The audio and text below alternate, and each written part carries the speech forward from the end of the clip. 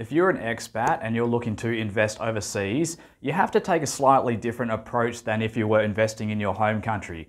You have opportunities to be more strategic, the playing field is bigger, there's a lot more variables at play. Potentially there's more risk, but with risk comes reward if it's executed well. So if you do well, there is opportunity to make a much larger return than you could make in your home country or even investing in emerging markets ETFs in your home country.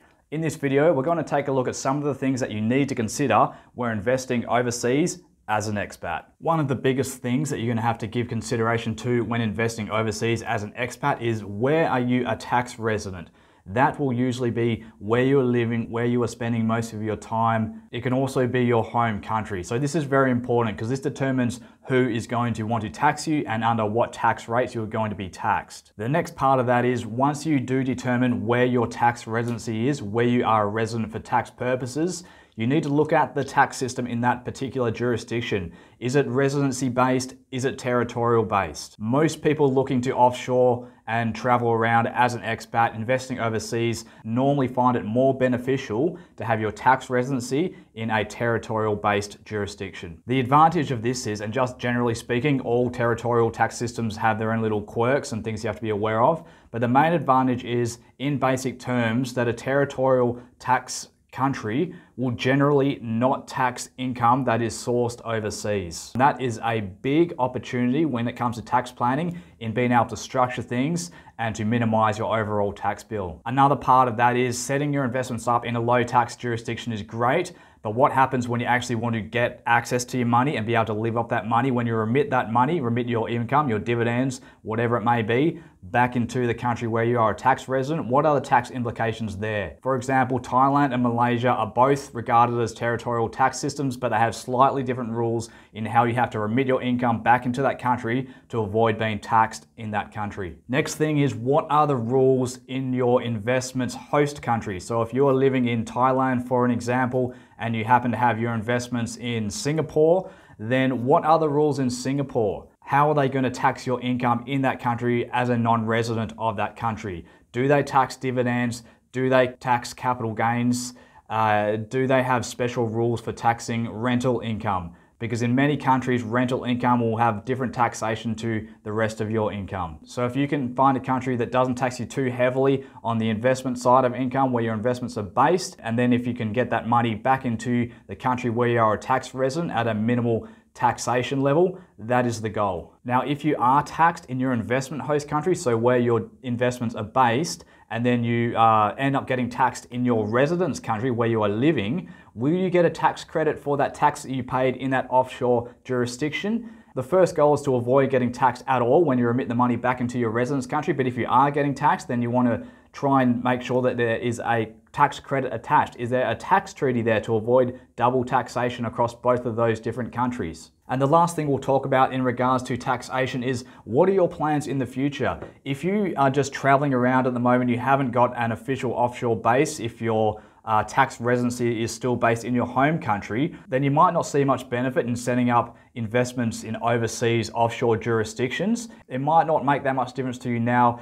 if your home country is going to tax you regardless. But if there is a chance that you might go non resident in your home country, if you might make a move overseas more official, set up a domicile in another country that will be recognized by your home country. So then you become a non resident for tax purposes in your home country. They won't tax you anymore at the resident rates. Then it becomes beneficial to have your offshore assets earning and paying tax in a different country. This might not be something that you utilize right now, but potentially you might go full offshore uh, go a non-resident in your home country, set up a base in another country five years down the track. So even if there is a possibility of doing that, it could pay to start putting things in place now, knowing that when you are ready to potentially become a non-resident for tax purposes in your home country, then you already have these things in place. You have the investment package over here in another country and you have a rental over here in a different country and it's all working well taxation wise and you know you can get the income out of these countries into the country where you're living now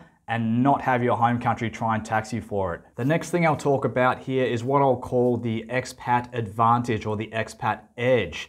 You might not think much of it, but when you give it some consideration, you'll realize that you have a massive advantage over regular folk, especially regular folk who are living back home in your home country.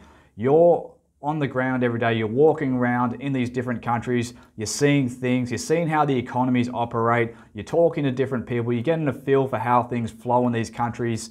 And with that comes opportunity. You might see that a particular country or region is gearing up for a big upward trend compared to perhaps a downward trend in your home country. So then the next thing comes are you going to use this unique perspective and insight that you have into these foreign markets? Are you going to use that to your advantage and put some money on the table and capitalize on that? There certainly is opportunity there to have a really good strategic think about it and put some money to use. The fact of the matter is you can read all of the online news articles, you can watch all the YouTube videos in the world, but there is no substitute for doing boots on the ground research in a particular country. If you are there yourself, getting a feel for things, talking to people, you're there, you're living you're seeing stuff with your own eyes. That is the best research anyone can do. You're doing it every day without even knowing it. Of course, you can be more proactive about it, but just have a think about the feeling you're getting on the ground, what you're seeing, what you're hearing, and use that to your advantage because the regular Joe back in your home country doesn't have this kind of intel that you're getting every day. Now, if you're an expat, you're living overseas, what are the things that people generally invest in? The common things include shares, and that is setting up a brokerage stock account.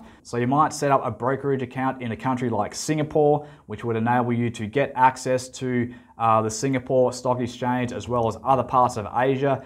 Now, we have some contacts in the region that can help you set up a brokerage account in Singapore, so head over to our website if you're interested in doing that. Another popular asset choice, of course, is property. So, whether you want to buy a condo for yourself and just uh, gain some lifestyle benefits out of it by having that condo, your home, your base in the region always there for when you want it. Uh, but also getting capital appreciation potentially if you believe the region is going to grow, if the property market in that particular country is going to grow you might get a better return on a condo than if you had money sitting in a bank account somewhere. So buying a condo for yourself, that's one thing. Buying a condo or another property to rent out is another thing. A lot of the big cities in Asia, places like Bangkok, uh, KL, they have pretty strong markets for people who buy condos and rent them out on Airbnb to foreigners. You could even have a condo that you rent out part time and then you live in it part time. That's an option as well if you've got someone to manage it there for you when you're not around. Another property play that is quite popular is people in Bali who like to build villas and rent them out to foreigners, to digital nomads. There's quite a reasonable market for that as well. Or you can buy an older style, more modest accommodation, an older condo in somewhere like Thailand and rent out to the local population that's an option as well. It might not be as high a returns as you might get on Airbnb, but it could well be more reliable returns if that's what you're looking for. And the good thing about that as well, it enables you to earn some local currency. You might want to hedge and set up some other bank accounts in KL, earn some ringgits, hold some ringgits,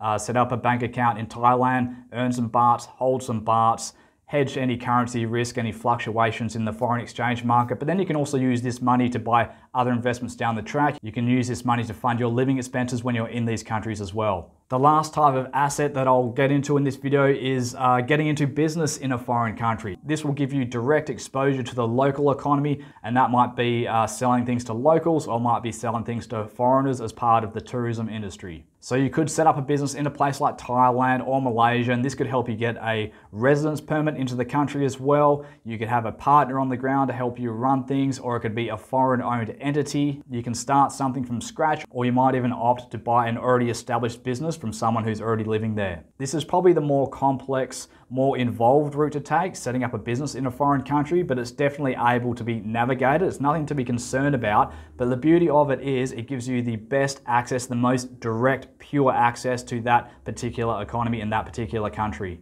Okay, so now we'll cover a couple of other factors and then we'll close things out so you can get on with the rest of your day. Another thing that you have to give consideration to when investing overseas as an expat, you know, there's all the things that we've spoken about already, but even if you have a really good setup for taxation and a really nice investment in a, in a particular country, making you a really good return, all this isn't really much good to you if you can't get that money back out to where you need it. If you can't remit that money back into the country where you're living in with the bank account you're using, it's not much use to you. I'm not talking here about if you're going to be taxed when remitting money back into your residence country. I'm talking about banking infrastructure.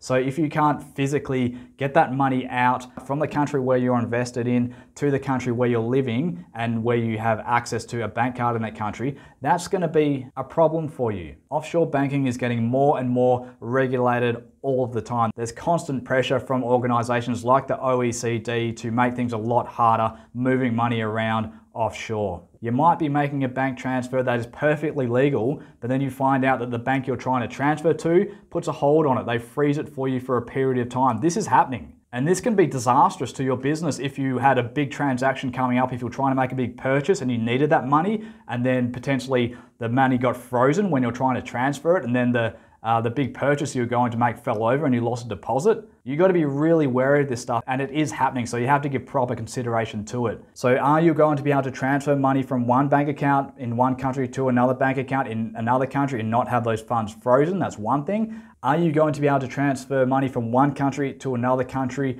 and not get absolutely ripped off on bank fees? Particularly on the bank where you're bringing money into, the receiving bank, you need to be able to satisfy them that you're not a terrorist and you're not a money launderer.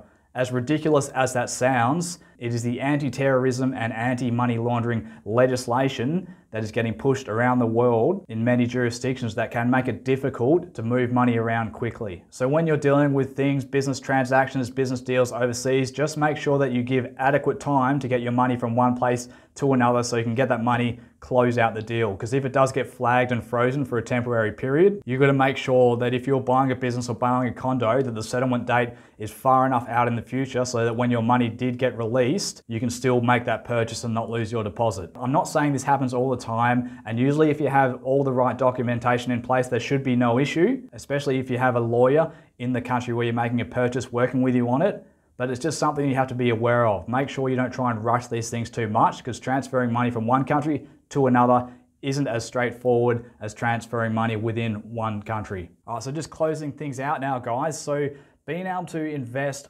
offshore as an expat gives you a huge advantage. It allows you to be more strategic. It allows you to invest in certain things that other people don't have access to. So you might use this to improve your tax situation. You might use this to just get a better return on a particular investment or particular investment trend by targeting a certain region and industry or whatever it may be. We're always looking around, we're always talking for people and looking for opportunities. So if you want some help to come out here and get your money working, talk to us. You can have a consultation with us. We can help you to do it. If you're looking for someone to assist with your boots on the ground research, the research that can only be done from getting here and having a look around. If you're not able to do that, if you want someone to assist with that side of things for you and facilitating things with the lawyers, with the real estate agents, with the stockbrokers, all the people that you need to talk to, we can help you to do all of that stuff. And as I mentioned earlier in the video, if you're interested in setting up a brokerage account in Singapore, getting access to the Singapore Stock Exchange, not only that, but also other markets, Thailand, Philippines,